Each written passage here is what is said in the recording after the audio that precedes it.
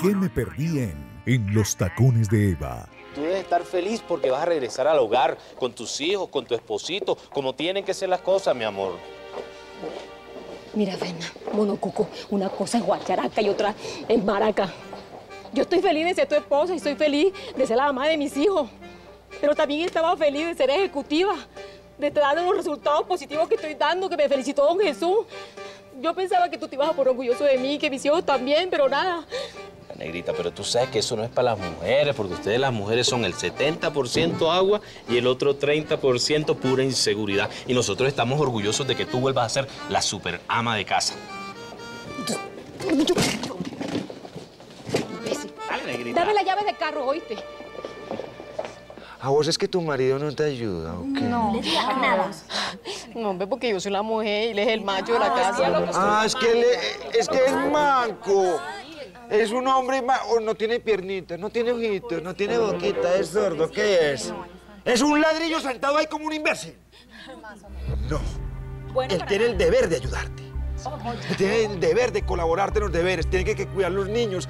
Tiene que dar toda su, todo su corazón para que vos también trabajes, para que te realices como persona, como mujer. Esto no, no es justo, no es justo, negra. No, que Fernando se dedique a la casa como burro con sombrero, no me ayuda en nada. No puede, él es el hombre, él es el jefe del hogar.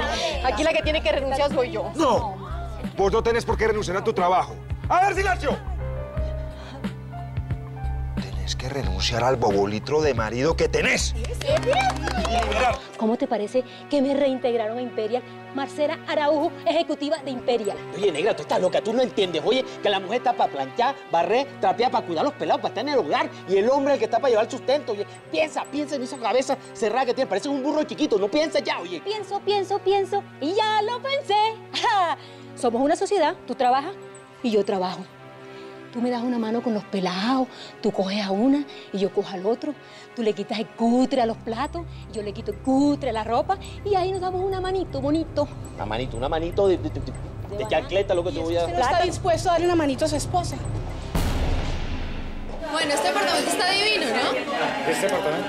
Sí. Lo que me parece raro es que esta niña Isabela Imperial hace poquito, ¿no? Y ya tiene este apartamento divino, más lindo que el de nosotros. Yo creo que nosotros deberíamos tener un mejor apartamento. Así o mejor que este. Acuérdate, Santi, que al pasajero lo juzgan por su maleta. Santi, ¿me estás poniendo atención? ¿De? Claro, no, sí, obviamente. Pues, eh, ¿quieres que compremos maletas, diablita, y compramos unas maletas ¿Qué? bien bonitas para viajar? ¡Ay! Me estás poniendo cuidado. Nunca me imaginé que fuera su matrimonio. Yo no tenía ninguna intención de dañarle su boda, se lo juro. Por lo que más quiera, créame si no me vaya a pegar. Pero lo hizo. Pues sí. Perdón.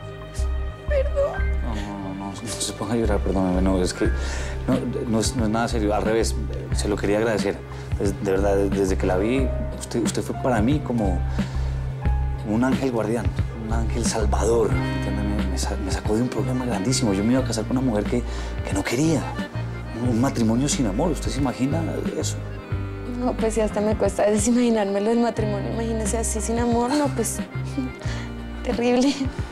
Pues sí, muchas gracias, de verdad. Ay. Pues muchas, muchas de nada. Yo tengo que decirle algo, Eva.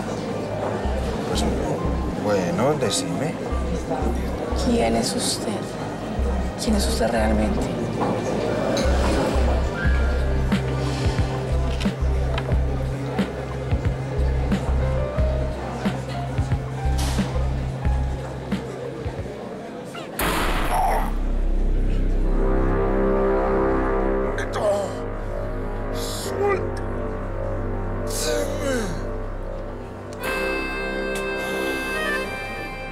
Sufrió un accidente cerebrovascular.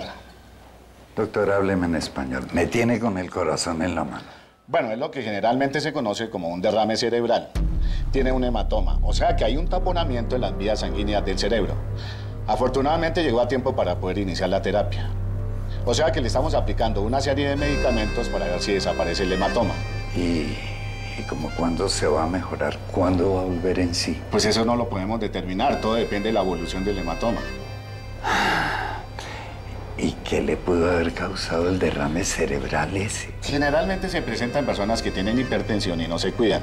Pero en el caso de Antonia no creo, porque ella siempre se tomaba los medicamentos juiciosamente.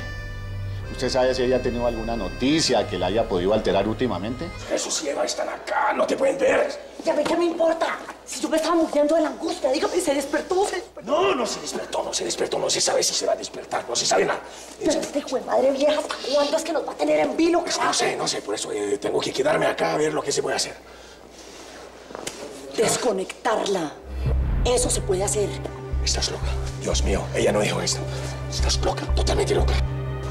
Yo no estoy ninguna loca, Cristóbal. ¿Usted sabe qué pasa donde Antonia se levante?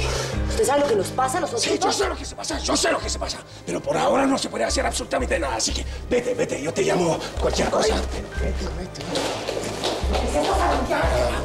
En los tacones de Eva, lunes a viernes, 10 pm, hora del este.